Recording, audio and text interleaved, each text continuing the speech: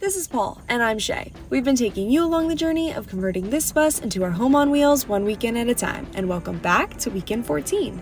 It poured all day Saturday, which gave us the perfect opportunity to finally finish demoing the electrical.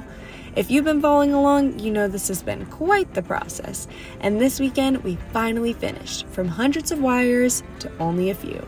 When the sun came back out, it was back to fixing leaks, which we'll actually be making a YouTube video to explain why we have leaks and how we're fixing them, because we can't continue subflooring until we're leak proof.